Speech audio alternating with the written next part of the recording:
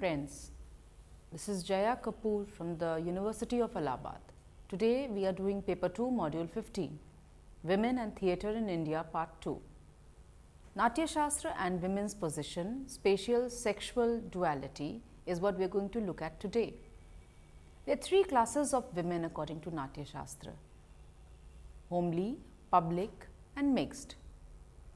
Regarding the homely that is Abhigya Mitra, a woman belonging to a high family is a homely. A king's union can take place with a homely woman. The king may have union with a heavenly courtesan as well, the conduct which is approved by their being married. The second, public, Liya Jaja. A courtesan is a public, a Baliu women. Common man may unite with a public woman. A public woman is never desired by a king and she does not receive his courtesies. The mixed, a thoroughly tested Mukut woman, if she is a maiden of high family, is of mixed class. Lasya is a form mentioned by Bharat Muni in chapter 20 of his Natya Shastra. The woman's dance style, Lasya, is replete with Shringar Ras while the male choreography is loaded with Tandav movements. It classifies eight kinds of heroines. Naika, one dressed up for union, that is Rasak Sajja, one distressed by separation, which is Viraha Hot Khandita, one having her husband in subjugation. Sradhin Bhartak, one separated from her lover by quarrel. Kalah Antrit, and enraged with her lover, Khandita. One deceived by her lover, Vipral Bhatt. One with a sojourning husband, Prosti, and one who moves to her lover, Abhisarika. Types of characters, order of female characters. A superior woman, a superior female character. Uttam is a woman who has a tender nature, is not fickle or cruel, speaks smilingly, is obedient to her superiors bashful, good mannered, has physical charm as well as high birth and other natural qualities and is grave and patient is known to be superior or uttam character. A middling or madhyam female character, a woman who does not possess these qualities to a great extent and always has some slight faults mixed with some is known to be the middling or madhyam character. An inferior female character is a description of the inferior male characters will generally apply in case of female characters of that type. A mixed character, a hermaphrodite is known as the character of mixed Sankirna an inferior type. Maid servants and the likes are also characters of mixed types. Four types of heroines. They are always heroines in dramatic works. I shall now speak of heroines who are four classes a goddess, a queen, a woman of high family and courtesan, which is number 1. These may according to the characteristics be of four types self controlled, dheer, light hearted, lalit, exalted, uddat and modest, nirbhata. Goddesses may possess all these qualities and women of high family may be exalted and modest, while the courtesan and craftswomen light hearted and exalted. Stree Preksha, an exclusive female zone. Women have limited admission in the male space. The term Stree Preksha was first adopted by Kautilya, the author of Arthashastra in the 4th century, indicating plays performed exclusively by female artists. The Devdasi in the service of God. As their name suggests, they were Devdasis or attendants to God. They served uh, God through dance and music. Devdasis, Ganikas, Nati are all served the Indian theatre tradition for a very long time. They came under attack in the beginning of 1830s by the Victorian morality and social reformist programs. Women in folk form performances. Exclusion of women from camaraderie of theatre is also recorded in other forms of folk traditions, Ras Leela, Ram Leela, Jatra, Nautanki, Tamasha, Bhavai, Ayappam and many more. Gulabbai as a female, female backward caste was the first woman to perform Nautanki. Women directors during 19th century, many female authors carved out an important place for themselves in the genre of fiction and poetry. The stage remained closed to them. 29 years or so have seen significant changes in this respect. Indian theatre is no longer a male preserve, it used to be. Women directors, previously a rarity, have come to the fore. Names like Lakshmi Chandra, Chaman Ahuja, Ipshita Chandra, Usha Ganguli, Neelam Mansingh Chaudhary, Rani Balbir Kaur, Shell, Sheila Bhatia, B. Shri, Arundhati Raje, S. Malti, Soumya Verma, Gauri Datta, Nadira Babbar, Shailja, Anuradha Kapoor, Amal Allana are notable for their contribution. Journals and critics and dramaturges. Evidence of this explosion of women dramatists and directors in India can be found both in the regularity with which major journals like Theatre India, Seagull Theatre Quarterly, Rang Prasang, Natrang now often publish feminist theatre criticism, history and anthologies and critical books on women's drama make a regular appearance. Tutun Mukherjee has edited an anthology of women dramatists titled Staging Resistance, Ways by, Plays by Women in Translation, published by Oxford Press. Body Blows, Women, Violence and Survival, published by Seagull, 2000, among many, uh, among several plays and translated works. Plays by and about women continue to be written and produced, but the most striking development in the domain of gender and drama in the present times has been the emergence of a rich and diverse array of writings in feminist criticism and theory. Lakshmi Subramaniam edited a volume on theatre criticism titled Muffled Voices Women in Modern Indian Theatre. Apart from these, we have noteworthy critics like Aparna Dharwadkar, Maya Pandit, Vasudha Dalmia, Kirti Jain, Deepa Gehlot, among many others. Journals and theatre criticism. Indian theatre, Theatre India, Seagull Theatre Quarterly, Rang Prasang, Bharat Rang, Natrang now often publish feminist theatre criticism, history and theory. Feminist theatre is as much about a local endeavour as a theatrical one. Since Natyashastra and poetic dramatic texts performances were dominated by male ideologies, but plays written and performed by women undermine the classical Indian aesthetic in which a single protagonist follows a linear plot. Usha Ganguly's Antaryatra is an example where focusing on an ensemble, the feminist belief is that the group is more important than the individual.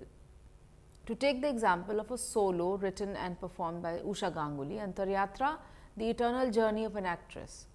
The 63 year old actress director weaves an autobiographical introspection with the voice of famous women theatrical characters into a rich narrative of feminine consciousness. Antaryatra is a play in which Usha Ganguly uses herself as a point of reference to narrate the story of an actress's struggle through life. She attempts to explore Indian women's psyche through a variety of characters like Nora, Himmat, Himmat Mai, Rudali, Kamla, Anima. Her experiences obviously enrich her one woman show. Antaryatra is a tribute to at least a dozen crucial female heroines played by Ganguly, who is representative of lives of women, each one belonging to a distinct social space, yet bound in some way by the virtue of being a woman.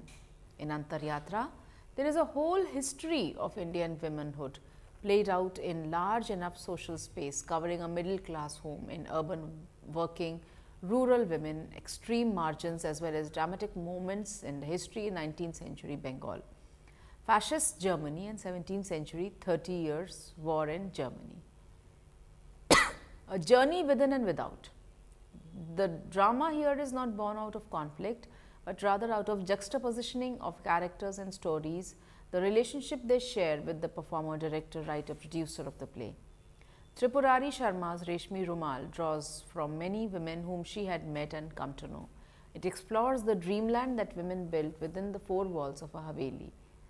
There was often the dearth of substantive female roles. The Western and Indian theatre had perpetuated a masculine perspective of the world at the expense of feminine. Rangkarmi's Beti Ai, Amal Allana's Nati Vinodini are examples. A play like Women's Issues which focuses on discrimination against the girl child. This uh, women play highlighting the problems of women as a whole has been raised through narration and enactment written by Jyoti Mapsekar. Nati Binodini is one of the most outstanding stage actresses of Calcutta stage who ruled supreme for more than a decade, 1873 to 1886, beginning at the tender age of 11. Then she quit the theatre scene when she found herself moving towards spiritualism. After she quit the stage, she married a local zamindar who had waited for her for years. The couple had a daughter, Shakuntala, who died when she was 11, followed by Binodini's husband, leaving the cursed woman to live in a state of perpetual isolation and loneliness. It was a strikingly original presentation where five Binodinis occupied the stage at the same time. One of them plays the doddering old Binodini in the present, writing out her autobiography and often entering into a discourse with the ghost of Girish Ghosh, the teacher mentor, the historic personality of Bengali stage, on a wheelchair. The wheelchair is a metaphor for Ghosh, whose theatre almost crippled after Binodini left. As the old Binodini reads out from the writings, the scenes move back to reveal four other Binodinis of different ages and made up identically, sometimes narrating the story of Binodini's life, sometimes enacting scenes from her plays. As time goes into depression, born shattered life, the focus was more on the emotional and sexual exploitation of Binodini by her mother by the first man whose mistress she was forced to be, the Girish Ghosh, then Binodini, the actress. Ghosh persuaded Gurmukh Rai, a wealthy Marwari admirer, as his keep so that they could close down the theatre and she could be saved. Rejecting his offer of 50,000, she was asked to build a theatre. He agreed on the condition that the theatre would be called B Theatre, B standing for Binodini in the celebration of a rich contribution to theatre. Yet when the time came, members of the group did not like, keep to the promise. It was Kristen Star Theatre it was felt that a theatre house named after a prostitute would fail to draw an audience. Identity and gender. Also embedded in the structure of many feminist plays is the argument that identity and gender are not fixed or innate but rather dynamic and culturally created.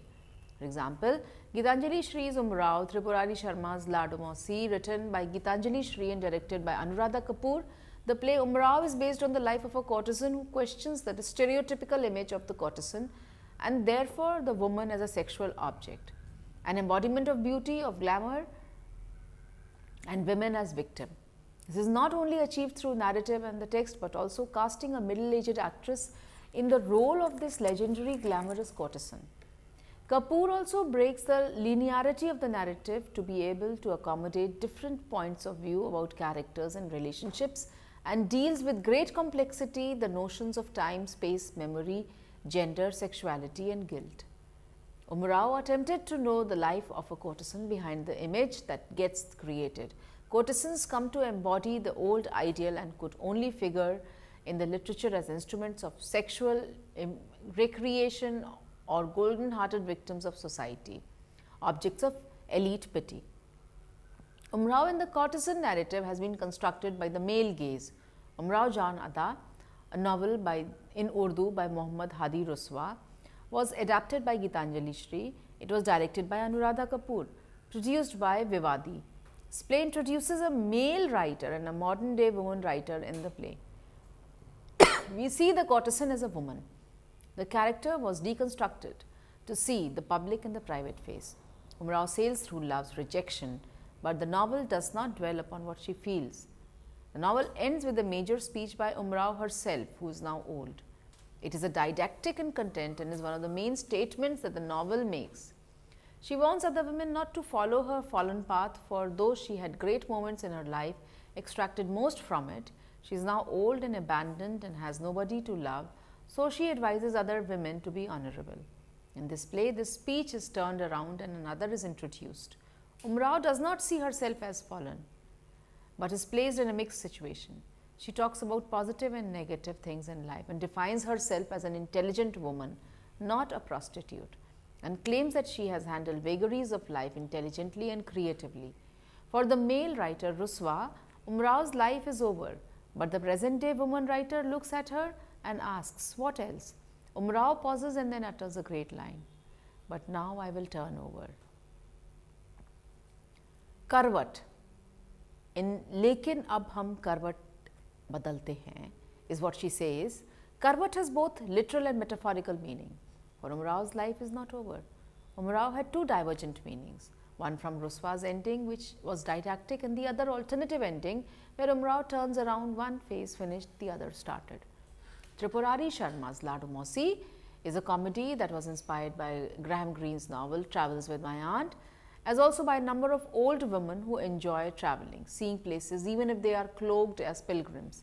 Their undaunting spirit, love of adventure leads them into interesting pathways and most importantly it breaks an image.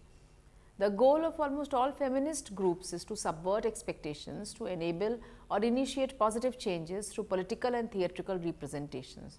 For example, Verboluti by Jan Natya Manch, Bahu by Tripurari Sharma, a street play performed in Purva, Verboluti by Jan Natya Manch is a little girl refuses to be cowed down by despite the family favoring the male child. The dutiful middle class women prevent her daughter from being married off to corrupt official. A factory worker insists on separate toilet for women being added to the union demands.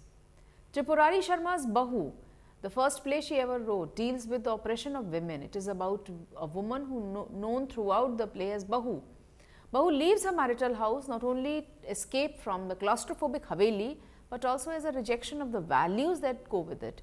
In rejecting the patriarchal world and her claim to the house, she has in fact laid stronger claims to life.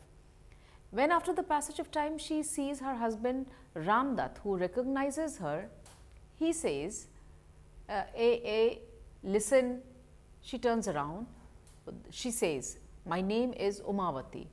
Ramdat says, Umavati? Oh yes, of course. By articulating her name, Umavati, the Bahu for long known as Bahu articulates her identity. Ramdat asks her to return. She refuses. He then asks for the child, but he is adamant. He cannot possess what he has disowned at birth. Child belongs to her and her alone. She walks away from firm and calm. Like Shakuntala, she maintains a distance and seeks no reconciliation. But unlike Shakuntala, she stakes her claim to the child. We can also draw a parallel of Umavati with Sita, who prefers to be absorbed by the earth rather than return to Ayodhya. Relationships, sisterhood, sexuality, female autonomy. Feminist theatre focuses on female characters and explores relationships of sisterhood, sexuality, female autonomy. For example, Usha Ganguli's Rudali is based on Mahashweta Devi's story. It presents the bonding of women's empowerment by turning them into professional mourners. Her adaptation of Mahashweta Devi's text Rudali, which centers on two women who develop a partnership for survival, won the Best Director Award in 1992. Several forums have successfully played the theatrical adaptation. Central character Sanichari is named so because she was born on a Saturday the society recognizes it as an inauspicious to be born on a Saturday. She has been inauspicious for her family, has no one survived after her birth. She tells the story of the woman Sanichari, abandoned by her mother shortly after the father's death.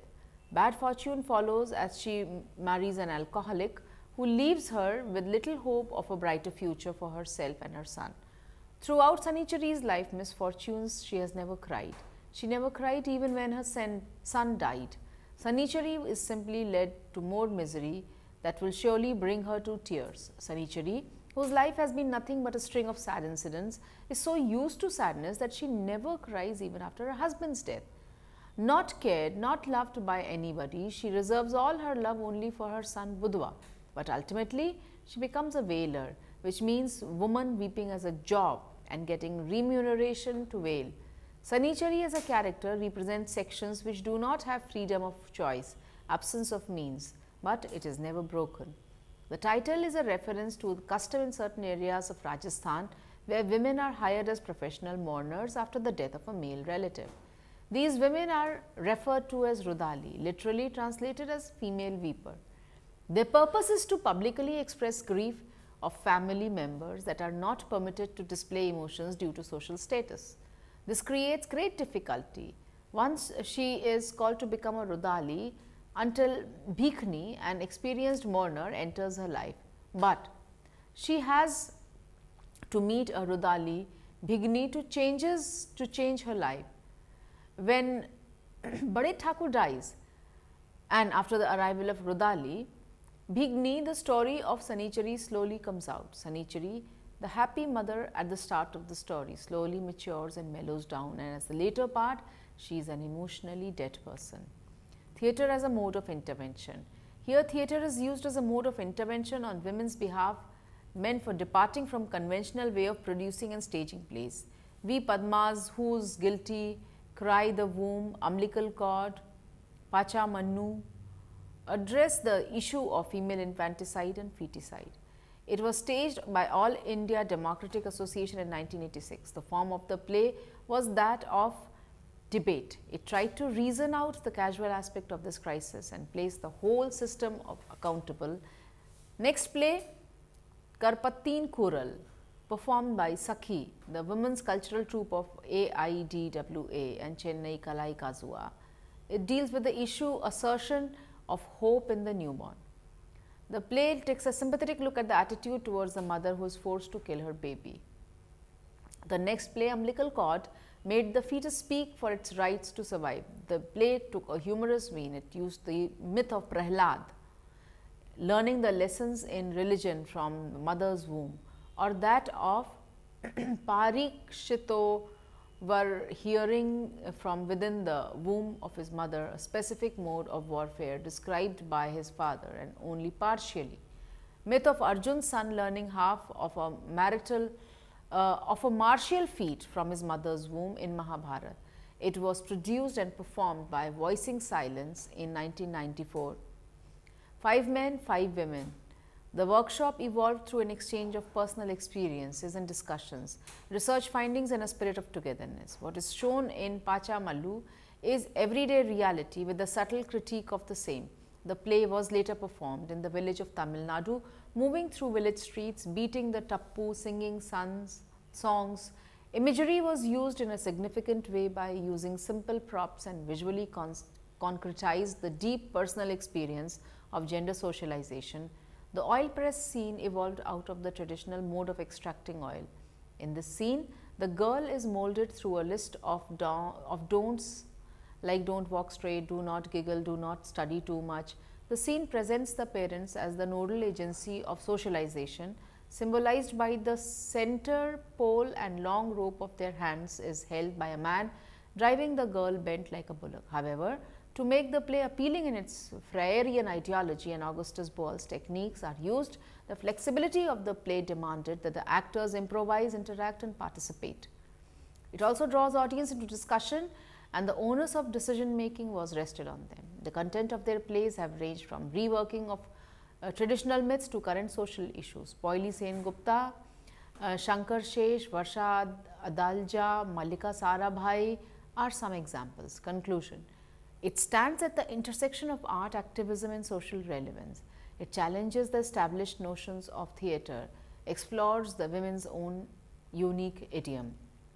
Modern theatre, thereby, is a tool for conscientization, for critiquing social disparities, de deconstructs patriarchal, dualistic rethinking, restructures notion of power. It creates an interconnected community void of hierarchies where all members have their own intrinsic value. Thank you.